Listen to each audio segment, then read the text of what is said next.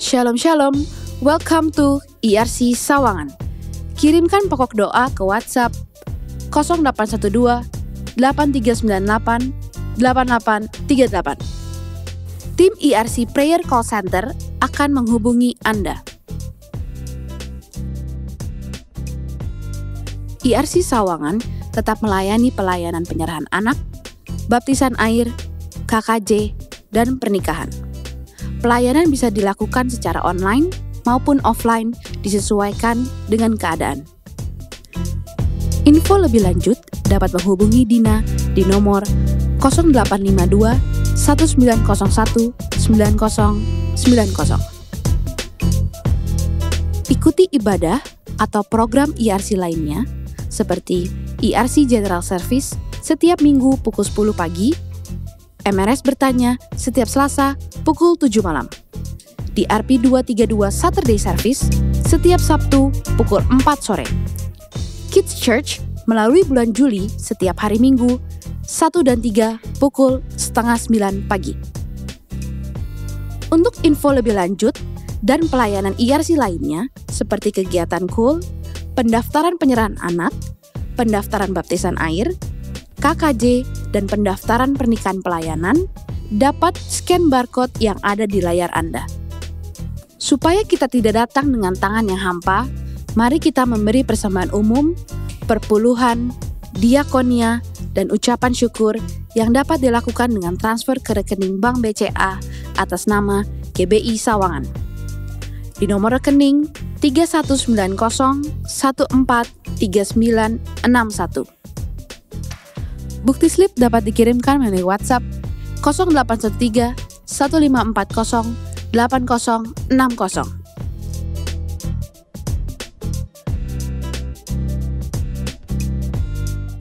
Jangan lupa untuk terus follow Instagram kita di @elroychurch dan like fanpage Facebook kita di IRC Sawangan.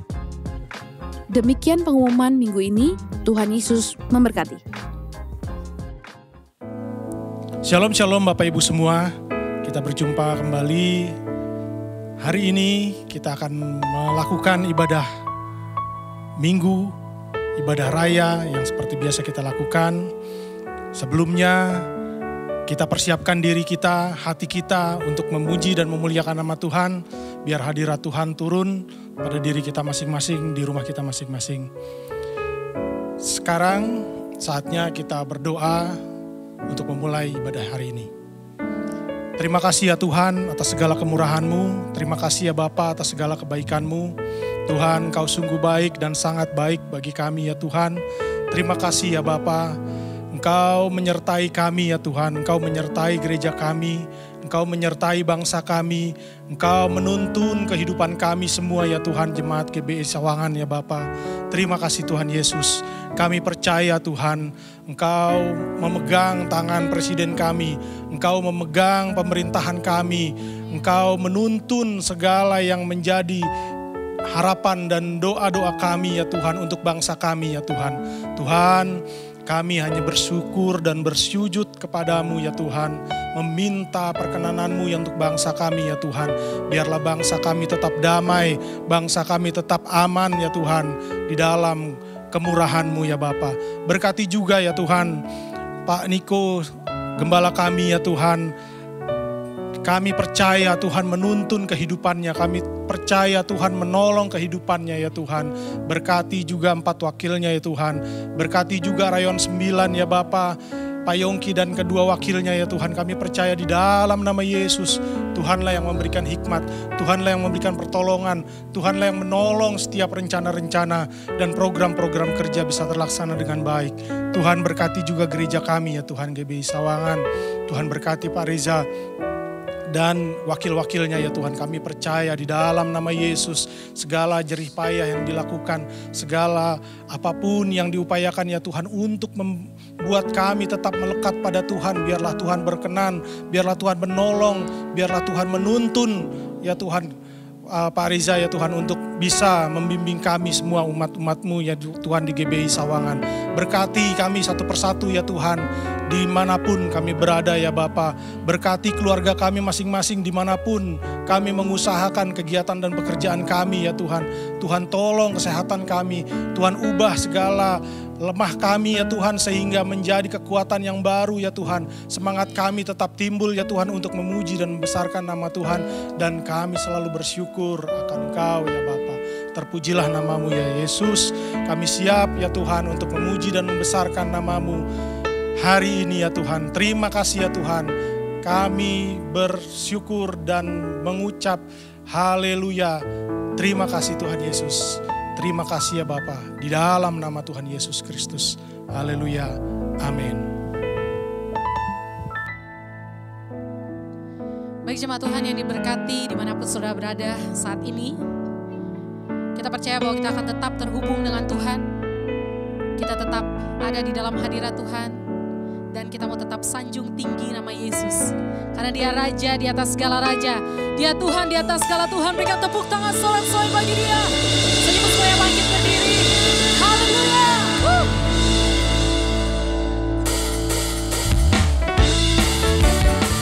Mari sama-sama berikan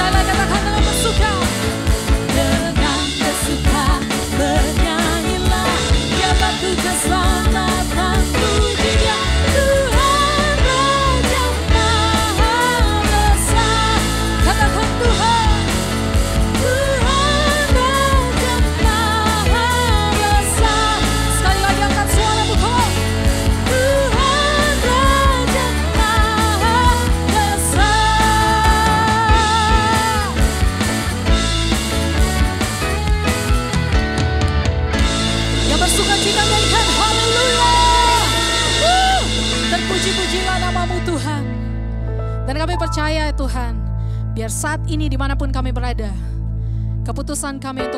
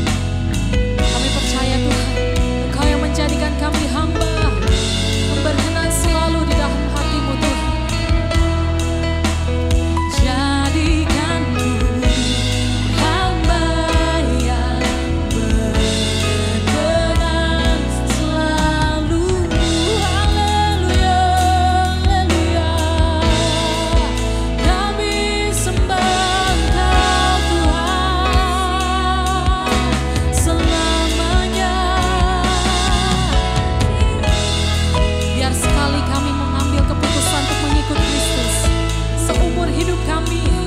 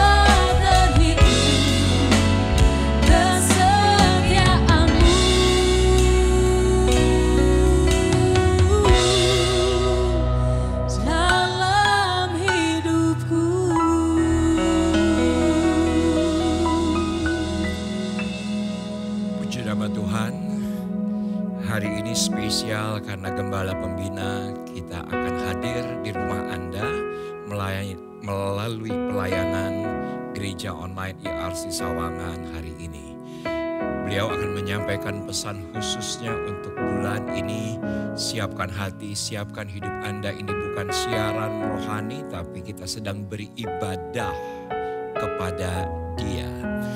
Persiapkan juga, yaitu adalah perjamuan kudus mandiri dan saya percaya lawatan Tuhan Tuhan nyatakan di rumah-rumah bukankah kita temukan dalam perjanjian baru sesungguhnya Yesus tidak banyak dicatat di sinagog tidak banyak dicatat di bait Allah tapi Yesus banyak dicatat di rumah-rumah tidak terduga apa yang terjadi hari ini kita bisa alami di rumah-rumah renungan pastoral dari saya untuk ibadah hari ini.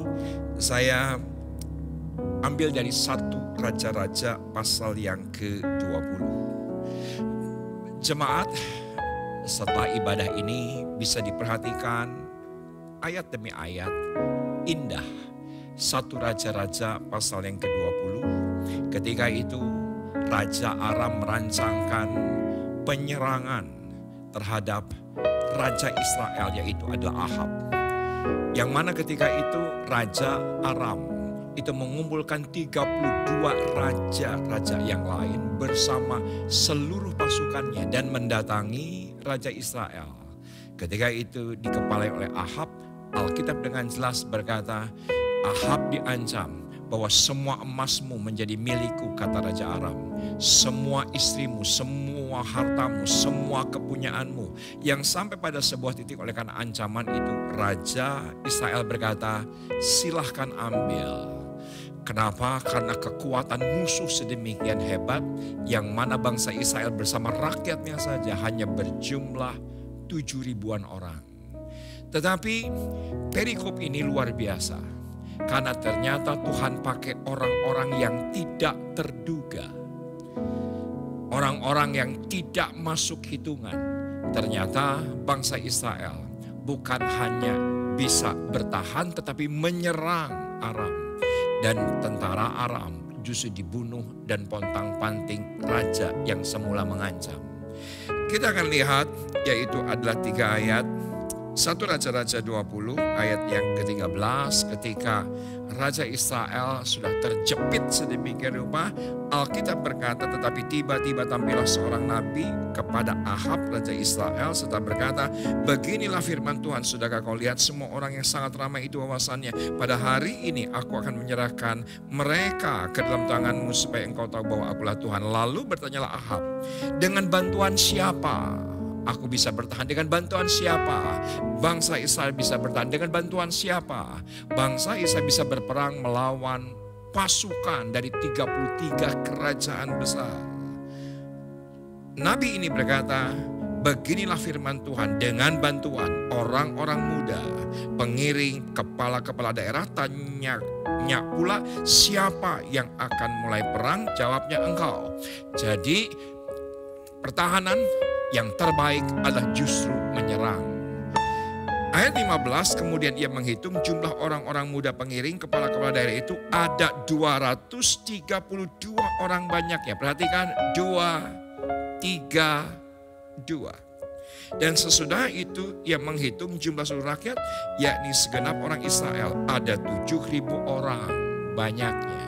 Ternyata yang Tuhan pakai bukan kekuatan daripada seluruh rakyat Israel yang berjumlah 7000 ternyata untuk menyerang Aram yang Tuhan pakai justru yang tidak terduga yaitu hanyalah pengiring-pengiring muda 232 orang bukankah itu angka yang mana pergerakan pelayanan kita di hari terakhir didominasi oleh DRP 232 yang semula saya berpikir angka 232 waktu 5-6 tahun yang lalu pelayanan teens dan pelayanan youth disatukan saya pikir kita menggunakan DRP 232 karena jam ibadahnya jam 2 lewat 32 menit. Tapi ternyata saya temukan hari ini ternyata 232 itu tercatat dalam Alkitab sebagai pengiring-pengiring muda yang mengalahkan kepungan, yang mengalahkan lawan, yang mengalahkan ketakutan, yang mengalahkan intimidasi. Dan saya tahu persis bahwa ada satu generasi yang Tuhan akan bangkitkan dan sedang bangkitkan, yaitu dari gereja ini, yaitu angkatan-angkatan pengiring muda. Dan saya tahu itulah Anda, persiapkan hati Anda. Kita akan menyerang karena pertahanan yang terbaik, bukan bertahan. Pertahanan yang terbaik, yaitu adalah menyerang. Tentunya kita dengan cara yang baru. Menggunakan platform ini, menggunakan digital, menggunakan YouTube, menggunakan semua platform online. Kita bukan bertahan tetapi kita menyerang, kita aktif dan kita mempengaruhi dunia dengan apa yang kita bisa, apa yang kita bisa lakukan. Saya tahu persis, Anda semua anak muda akan dipakai Tuhan luar biasa.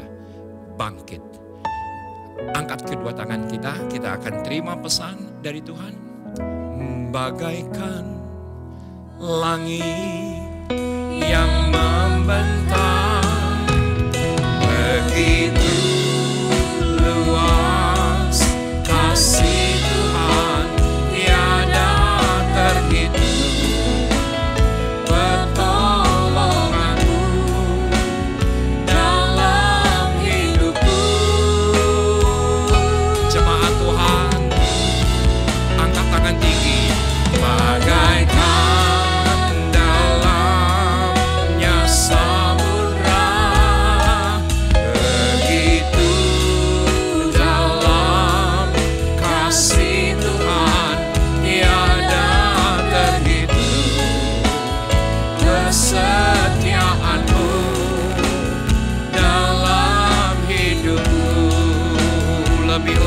sekali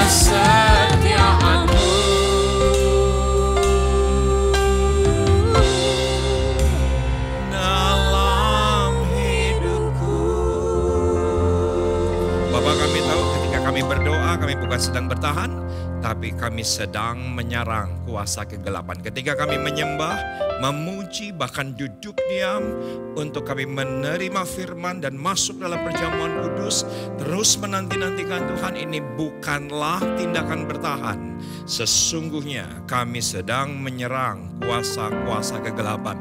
Kau pakai semua kami, kau pakai anak-anak kami, kau pakai cucu-cucu kami, generasi Yeremia yang dibangkitkan yang yang yang tidak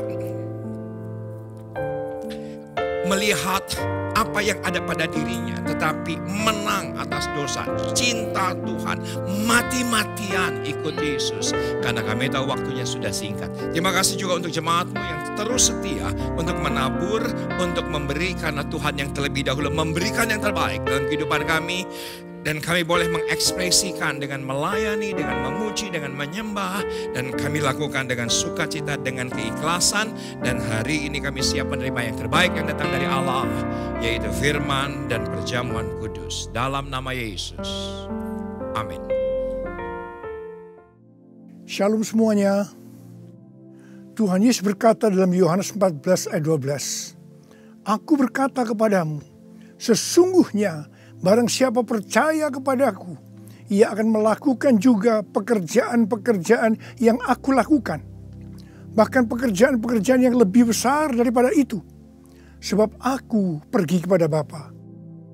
Di sini Tuhan Yesus berkata bahwa kalau kita percaya kepada Tuhan Yesus, maka setelah Tuhan Yesus naik ke sorga, kita akan melakukan pekerjaan-pekerjaan yang dilakukan oleh Tuhan Yesus bahkan pekerjaan-pekerjaan lebih besar. Pada waktu Tuhan Yesus berada di bumi ini, Tuhan Yesus melayani di Yerusalem, di Yudea, dan di Samaria. Tetapi setelah Tuhan Yesus naik ke sorga, kita-kita yang percaya bahkan akan melayani sampai ke ujung-ujung bumi. Jumlah mujizat yang dilakukan oleh kita yang percaya jauh lebih banyak dibandingkan dengan yang dilakukan oleh Tuhan Yesus pada waktu itu. Hal ini berarti setelah Tuhan Yesus berada di sorga, Tuhan Yesus menyediakan pengurapan dan berkat double portion kepada kita yang percaya. Double portion bukan hanya berarti dua kali lipat, tetapi juga berarti berlipat-lipat kali ganda. Amin. Ada berapa banyak di antara saudara yang mau menerima berkat atau pengurapan double portion? Boleh angkat tangan saudara. Sidi Jacob bernubuat bahwa Pentakosta tahun 2020 tidak sama dengan Pentakosta sebelumnya. Dikatakan bahwa kita sedang memasuki Pentakosta dari Pentakosta, yaitu Pentakosta yang ketiga. Di mana ini adalah pencurahan roh kudus yang terbesar dan yang terakhir sebelum Tuhan Yesus datang kembali. Untuk itulah Tuhan Yesus memperlengkapi kita dengan pengurapan double portion. Setelah roh kudus dicurahkan pada waktu Pentakosta yang pertama, maka salah satu tanda yang terjadi pada waktu itu adalah perubahan paradigma dalam pelayanan. Selama ini, pengertian dari murid-murid Tuhan Yesus adalah bahwa keselamatan hanya untuk orang Yahudi saja. Tetapi dengan adanya peristiwa Cornelius yang bukan orang Yahudi bertobat, dipenuhi dengan roh kudus, berbahasa roh, dan menerima baptisan air, maka dengan perdebatan yang cukup panjang, Akhirnya dengan kesaksian Petrus, para rasul dan seluruh orang percaya di Yudea dapat menerima bahwa keselamatan bukan hanya untuk orang Yahudi saja, tetapi untuk semua bangsa, termasuk bangsa Indonesia. Dan ini pasti akan menyebabkan perubahan paradigma dalam cara penginjilannya. Demikian pula hal ini terjadi dalam era Pentakosta ketiga ini. Yang jelas dengan adanya pandemi COVID-19 akan terjadi perubahan paradigma dalam pelayanan untuk terjadinya penuhan jiwa yang terbesar dan yang terakhir. Hal yang pertama adalah yang tadinya kita ibadah secara offline, sekarang berubah menjadi ibadah secara online. Tadinya kita beribadah di gedung gereja, kita bersekutu bersama-sama, bisa berjabatan tangan, saling berpelukan, menyatakan kasih kita, melakukan penumpangan tangan, sekarang sudah tidak bisa lagi. Kita memasuki new normal. ibadah offline digantikan menjadi ibadah secara online. Terus terang, saya tidak mengerti sepenuhnya dengan adanya perubahan ini. Tapi Tuhan menyuruh saya untuk melakukan seperti apa yang terdapat dalam Yeremia 33 ayat 3. Berserulah kepadaku, maka aku akan menjawab engkau dan memberitahukan kepadamu hal-hal yang besar dan yang tidak terpahami yakni hal-hal yang tidak kau ketahui. Itulah yang saya lakukan hari-hari ini. Saya percaya justru dengan adanya perubahan paradigma dalam pelayanan ini, pasti akan terjadi penuhan jiwa yang jauh lebih besar dibandingkan pada waktu kita menggunakan cara yang lama. Hal yang kedua, untuk terjadinya penuhan jiwa yang terbesar dan yang terakhir, Tuhan berkata akan terjadi kebangkitan generasi muda. Russell Evans, gembala sidang dari Planet Shaker, Melbourne, pada tahun 2017 mendapat penglihatan tentang Indonesia. Bahwa roh kudus sedang dicurahkan luar biasa di Indonesia. Dia melihat jutaan anak-anak muda dipenuhi dengan roh kudus. Mereka cinta mati-matian kepada Tuhan Yesus. Tidak kompromi terhadap dosa. Dan akan memenangkan banyak jiwa. Generasi anak muda ini kita sebutkan di generasi Yeremia awal Januari tahun 2020, para aras nasional dan para pemimpin Kristen berkumpul untuk membicarakan langkah konkret yang akan dilakukan sebagai respon terhadap komitmen para pemimpin Kristen sedunia di Swiss tahun 2017 tentang misi yang akan dikerjakan bersama-sama di mana hal ini juga diresponi oleh Indonesia di Brastagi, Sumatera Utara pada tahun 2018. Dengan perkataan lain, ini membicarakan tentang langkah konkret yang akan dilakukan oleh seluruh gereja untuk menyelesaikan amanat agung Tuhan Yesus. Hasil dari pertemuan para pemimpin Kristen awal Januari 2020 itu, bahwa apa yang akan dilakukan ke depan untuk menyelesaikan amanat agung Tuhan Yesus akan menunggu sepulangnya saya dari pelayanan di Brasil. Di Brasil, saya melayani KKR untuk generasi muda yang berusia rata-rata sekitar 24 tahun. Yang diadakan di tiga stadion besar. Jumlah yang hadir sekitar 180 ribu orang. Waktu saya bertemu dengan para pemimpin di Brasil, kami sama-sama mendapatkan pengertian bahwa kegerakan orang-orang muda dunia akan dimotori oleh dua bangsa, yaitu Indonesia dan Brasil. Katakan amin. Sepulang dari Brasil, ada dua hal yang didapatkan. Yang pertama, gerakan untuk menyelesaikan amanat agung Tuhan Yesus akan dimotori oleh generasi muda. Yang kedua, kita disuruh berpuasa dari tanggal 1 Maret sampai dengan 9 April selama 40 hari. Dan dilanjutkan sampai dengan 30 Mei. Jadi total kita berpuasa 91 hari. Setelah satu hari kita berpuasa, tepatnya tanggal 2 Maret 2020, Presiden Jokowi mengumumkan bahwa COVID-19 masuk ke Indonesia. Mulai saat itu kita merasakan bagaimana Tuhan memproses gereja-gerejanya kita dibersihkan, dimurnikan, ditata ulang oleh Tuhan. Kita memasuki new normal, dimensi yang baru, paradigma yang baru dalam pelayanan. Semua ini untuk mempersiapkan penuhan jiwa yang terbesar dan yang terakhir sebelum Tuhan Yesus datang kembali. Pada suatu hari ketika saya sedang membaca satu Raja-Raja 20 ayat 13 sampai dengan 22 tiba-tiba saya menerima WhatsApp dari Bapak Peter Farknimela. Saya diminta untuk membagikan apa yang ada di dalam hati saya untuk generasi Yeremia pada acara live streaming generasi bangkit yang kedua dengan tema Finishing a Great Commission pada tanggal 26 Juni 2020. Terus terang saya kaget. Surprise Sebab kalau kita membaca ayat-ayat dari satu raja-raja ayat 20 ayat 13 sampai dengan 22 itu itu menceritakan tentang seorang nabi yang datang kepada Ahab, raja Israel, untuk menyampaikan pesan Tuhan bahwa Tuhan akan menyerahkan musuh mereka, yakni orang-orang Aram yang sedang mengepung Samaria. Ahab bertanya, siapa yang akan membantu untuk melawan musuh yang begitu besar itu? Nabi itu menjawab, orang-orang muda, pengiring kepala-kepala daerah yang jumlahnya hanya 232 dari 7.000 orang Israel. Orang-orang muda ini yang akan menyerang lebih dulu. Orang-orang muda yang jumlahnya 232 ini yang diikuti oleh para prajurit menghancurkan orang-orang Aram. Pada saat itu Tuhan berbicara kepada saya bahwa untuk ke depan ini generasi Yeremia yang harus memimpin peperangan rohani untuk penuaian jiwa yang terbesar dan yang terakhir. Ini merupakan suatu paradigma baru dalam pelayanan.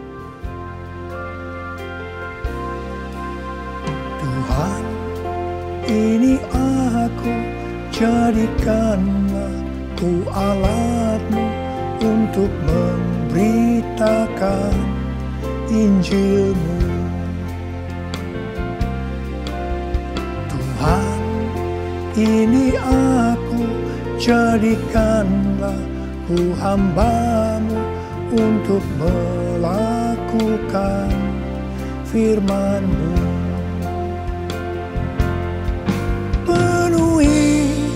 hidupku dengan rohmu agar ku jadi saksimu.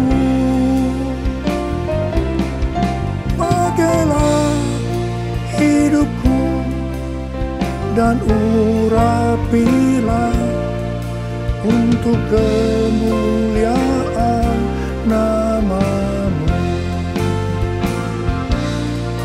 untuk kemuliaan namamu untuk kemuliaan namamu. Menteri Agama memberikan pengarahan dalam pembukaan kembali ibadah secara offline bahwa anak-anak, lansia, dan orang yang memiliki penyakit bawaan yang beresiko tinggi terhadap COVID-19 dilarang beribadah di gereja. Saya percaya ini bukan suatu kebetulan. Tetapi Tuhan sedang berbicara harus ada pergantian generasi. Tuhan seolah-olah memaksa agar generasi lansia mendelegasikan atau menyerahkan tugas mereka kepada generasi muda. Ini merupakan perubahan paradigma dalam pelayanan. Elisa adalah nabi muda yang mewakili generasi muda yang akan dipakai Tuhan untuk tugas yang lebih besar. Pada waktu itu Elia disuruh oleh Tuhan mengurapi Elisa untuk menjadi nabi menggantikan dia. Pertama, Elia melemparkan jubahnya kepada Elisa. Ini berbicara tentang memberikan otoritas menjadi seorang nabi. Yang kedua, Elisa menjadi pelayan Elia. Elia juga menjadi bapak rohani yang mementor Elisa. Elisa sangat setia kepada nabi atasannya. Sehingga Elisa dikenal sebagai yang dahulu melayani Elia. Yang ketiga, Elisa terus mengikuti Elia ke mana pun dia pergi. Elia ke Gilgal, Bethel, Yericho, Sungai Yordan. Elisa terus mengikuti meskipun dilarang oleh Elia. Waktu menyeberang Sungai Yordan, Elia berkata kepada Elisa, Mintalah apa yang hendak kulakukan kepadamu, sebelum aku terangkat daripadamu. Jawab Elisa, biar aku mendapat dua bagian dari rohmu. Elia berkata, yang kau minta ini adalah sukar. Tetapi jika engkau dapat melihat aku terangkat daripadamu, akan terjadilah kepadamu seperti yang demikian. Dan jika tidak, tidak akan terjadi. Ternyata Tuhan mengabulkan permintaan Elisa. Dia melihat waktu Elia diangkat. Elisa mendapat dua bagian dari roh Elia, double portion. Arti daripada dua bagian roh Elia atau double portion adalah yang pertama, Elisa sebagai anak rohani yang sulung dari Elia menerima warisan dua kali lebih banyak dibandingkan dari anak-anak rohani lainnya. Elisa mohon kepada ayah rohaninya untuk memberikan wibawa seorang nabi yang lebih besar kepadanya supaya Elisa bisa melanjutkan pelayanan Elia. Yang kedua, dalam hal mujizat, Elia melakukan mujizat sebanyak tujuh kali. Sedangkan Elisa melakukan empat belas kali.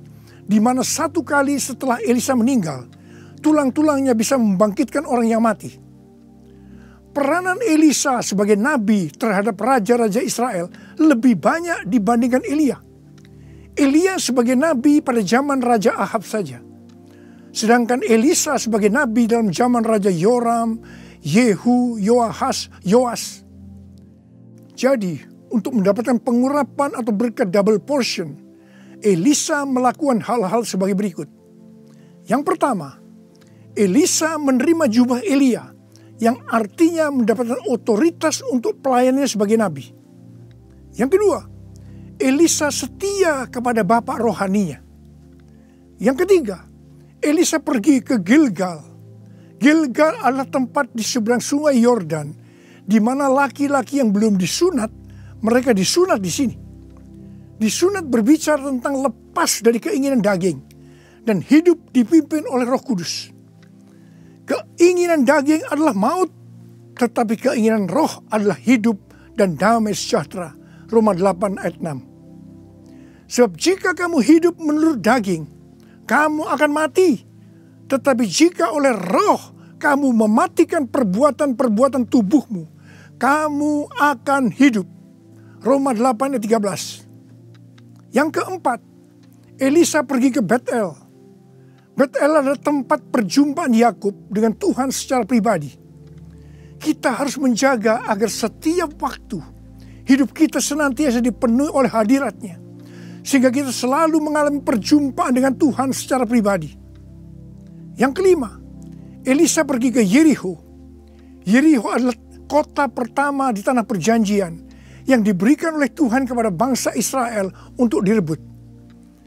Tembok Yeriho roboh setelah sangkakala ditiup dan orang Israel bersorak-sorai.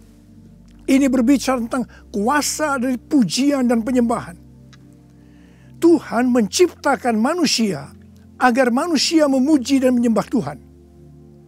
Dalam masa pandemi COVID-19 ini, kita harus banyak memuji dan menyembah Tuhan.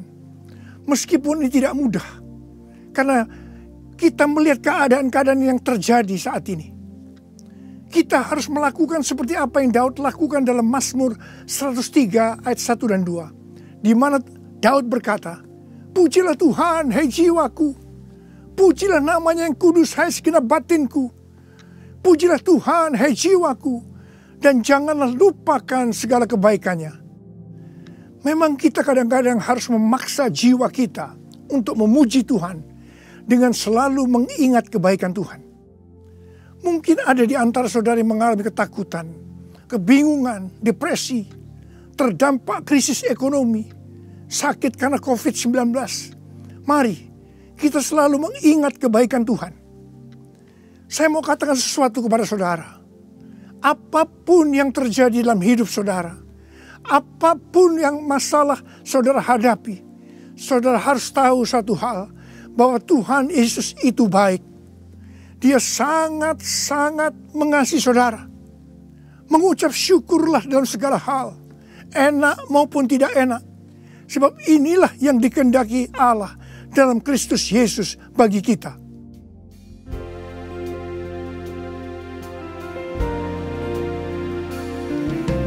Bapa, Engkau baik.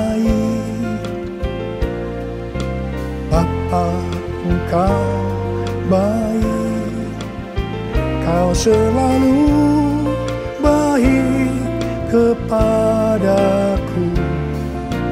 Apa ku cintakan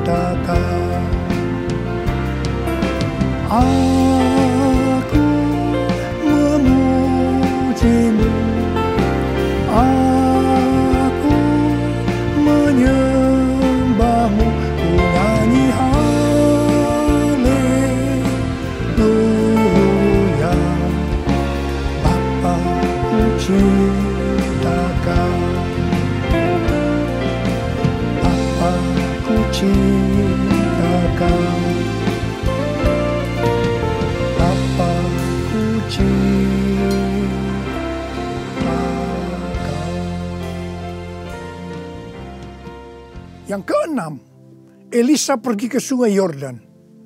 Sungai Yordan adalah tempat di mana mujizat dialami oleh Naaman yang sembuh dari penyakit kustanya.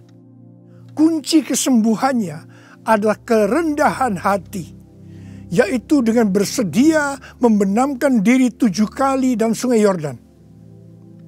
Sungai Yordan adalah tempat di mana Tuhan Yesus dibaptis. Roh Kudus dalam bentuk burung merpati turun atas Tuhan Yesus. Terdengar suara dari sorga. Inilah anakku yang kukasihi. Kepadanya lah aku berkenan. Sungai Yordan adalah tempat di mana kemuliaan Tuhan dinyatakan. Sungai Yordan menjadi kering ketika kaki para imam yang mengangkat tabut Allah masuk ke dalam air.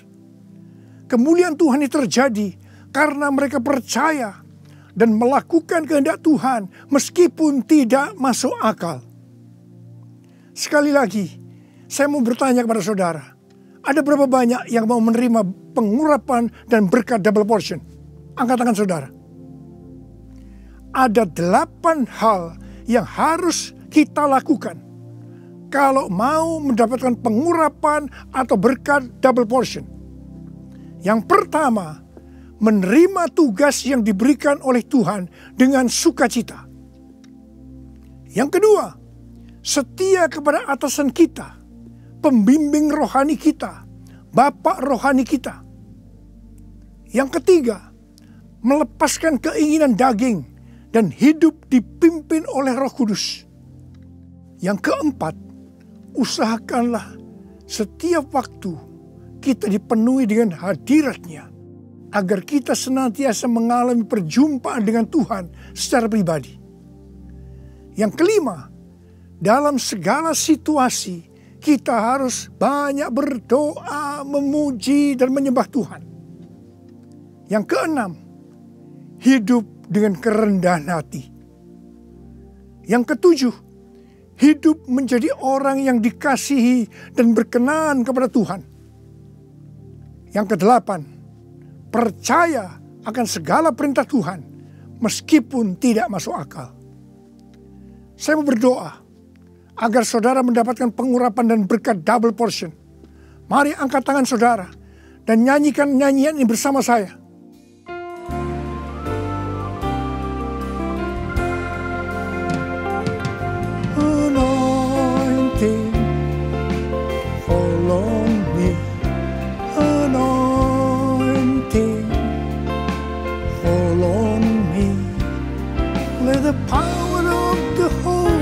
比。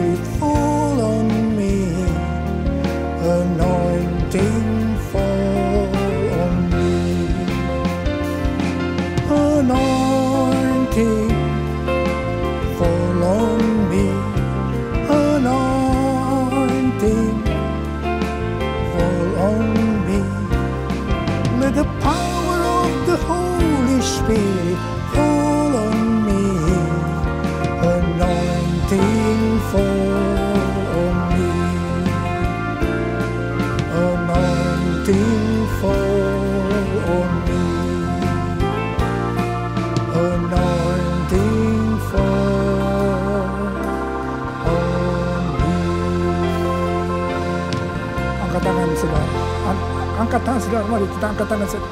Urala bala bala bala bala bala bala. Urala bala bala bala. Uria berbahasa roh. Berbahasa roh. Urala bala bala bala bala bala. Uria la la bala bala bala bala bala bala bala.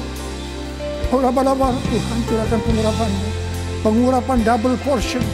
Pengurapan double portion. Berkat double portion. Terima, terima, terima, terima, terima, terima. Urala basikala la bala. Terima, terima, terima. Uria la la bala bala bala bala bala bala bala bala bala. Pakai anak-anakmu Tuhan menjadi alatmu Tuhan.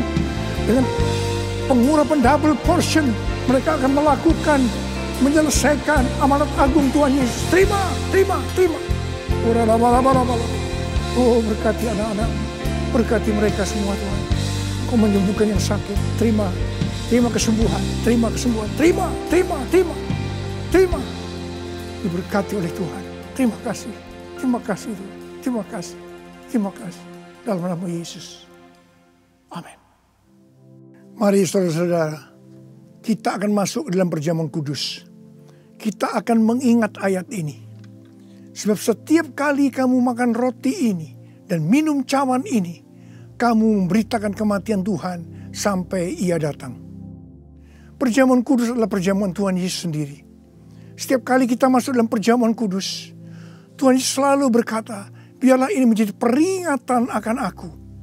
Karena itu mari arahkan hati saudara kepada kebaikan Tuhan. Kita akan mengingat kebaikan Tuhan. Mari kita tundukkan kepala. Tuhan, siapakah kami sebelum kami mengenal Engkau? Kami semua orang berdosa. Upah dosa adalah maut, mati. Tapi Engkau yang tidak berdosa telah dijadikan dosa oleh karena kami semua. Engkau harus turun dari sorga mulia, menjelma menjadi manusia. Mati ganti kami dengan penderitaan yang luar biasa. Sungguh kalau kami pikirkan Tuhan betapa baik yang kau itu. Kau jadikan kami sebagai anak-anakmu. Engkau berkati, engkau tuntun, engkau bela, engkau lindungi, engkau tegur kalau kami salah. Engkau mengurapi kami, engkau sembuhkan kami ya Tuhan. Itu engkau ya Abah. Itu engkau ya Abah. Tuhan akan memberkati saudara melalui perjamuan kudus. Tapi Tuhan mau kita makan dan minum dengan cara yang benar. Oleh karena itu masing-masing introspeksi. Sudah masing-masing berdoa. Lihat keadaan dirimu masing-masing. Jangan menyimpan dosa. Kalau ada dosa yang selama ini belum diselesaikan dengan Tuhan. Dan Tuhan ingatkan saat ini. Langsung minta ampun. Minta ampun. Minta ampun. Ampuni saya Tuhan. Ampuni Tuhan. Ampuni ya Tuhan. Tuhan ampuni anak-anakmu. Ampuni mereka ya Tuhan. Ampuni. Layakkan kami untuk masuk dalam perjamuan kudus. Terima kasih Bapak. Kami akan masuk dalam perjamuan kudus dengan hati yang penuh ucapan syukur. Dalam nama Yesus yang berdoa. Amin. Sekarang mari angkat roti di tangan kanan saudara tinggi-tinggi. Sebab apa yang telah kuteruskan kepadamu telah aku terima dari Tuhan. Yaitu bahwa Tuhan Yesus pada malam waktu ia diserahkan mengambil roti. Dan sesudah itu ia mengucap syukur atasnya. Dia memecah-mecahkannya dan berkata, Inilah tubuhku yang diserahkan bagi kamu. Perbuatlah ini menjadi peringatan akan aku. Sudah dikasih Tuhan. Bukankah roti yang kita pecah-pecahkan ini adalah persekutuan kita dengan tubuh Kristus? Mari kita makan dalam nama Yesus.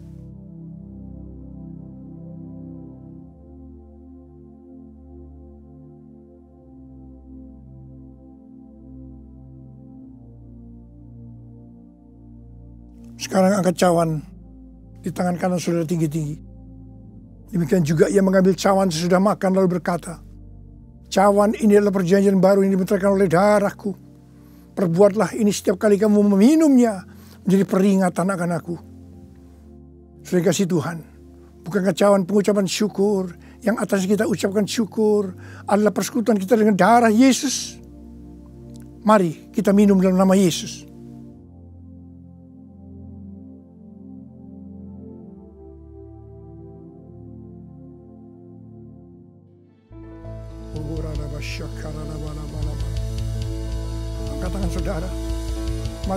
Mari ucapkan syukur dengan suara.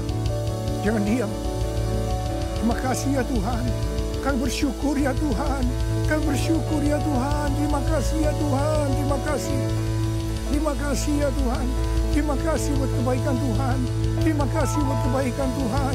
Terima kasih ya Tuhan. Terima kasih. Terima kasih. Terima kasih. Terima kasih ya Tuhan. Terima kasih.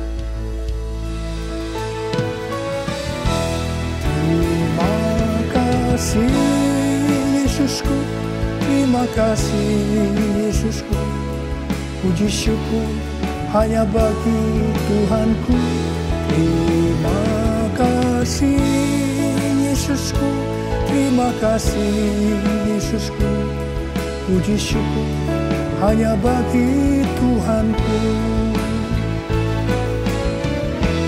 Terima kasih Yesusku Terima kasih Yesusku. Puji syukur hanya bagi Tuhanku. Terima kasih Yesusku. Terima kasih Yesusku. Puji syukur hanya bagi Tuhanku. Puji syukur hanya bagi Tuhanku. Puji syukur hanya bagi Tuhanku.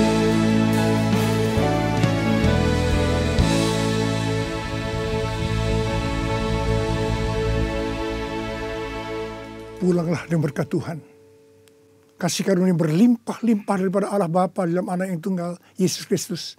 Persekutuan yang manis dengan roh kudus menyertai saudara sekalian mulai hari ini sampai Tuhan Yesus datang menjemput kita di awan-awan dan bahkan sampai selama-lamanya. Yang percaya bersama-sama katakan, Amin.